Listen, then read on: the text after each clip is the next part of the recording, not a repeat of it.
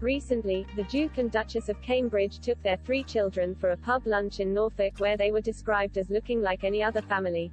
Prince William and Kate, Duchess of Cambridge, alongside 8-year-old Prince George, 6-year-old Princess Charlotte and 3-year-old Prince Louis were seen tucking into traditional pub food at a wooden picnic table outside. The future king, and his wife, both 39, were seen tucking into burgers and chips in the Norfolk pub garden, where they were joined by their pet, a black spaniel. The Cambridges opted for more casual attire for the outing, rather than the usual royal formal wear.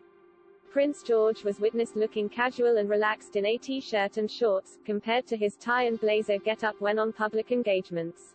A fellow pub goer who spotted the royals told The Sun, there was no security around, just them chilling like any other family. However, a royal expert has claimed the family would have been joined by security for the outing, but they would have been discreet.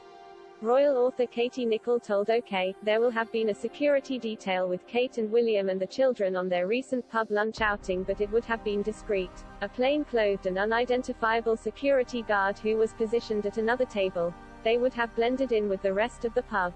The family were described to be laughing while eating outside, with a witness also describing one particularly touching moment where one of the children got upset because their food was too hot. Ms. Nicholl claims that the couple regularly enjoy outings to the pubs with the children or for a date night. She says that the royal duo tend to choose places they will visit carefully, usually opting for ones where they are known to the owners and locals so they can relax. She added, You don't often see people get out the camera phones and record that they are left to just get on with a family occasion. Norfolk is one of the few places they can just enjoy ordinary, everyday experiences as a family. William and Kate often go out on date nights and you don't hear about it.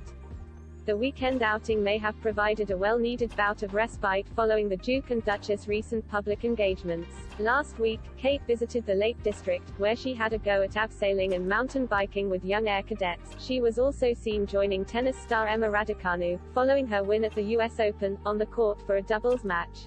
Elsewhere, her husband and future monarch William visited Dulwich Hamlet Football Club to hear about the future of the game, appeared in a documentary honoring his late grandfather Prince Philip and revealed the finalists in his Earthshot Prize project. The prince has also penned an article with former New York Mayor Michael Bloomberg in response to climate change which was published by USA Today. The pair discussed the severity of climate change, and penned a cry for solutions to save the Earth.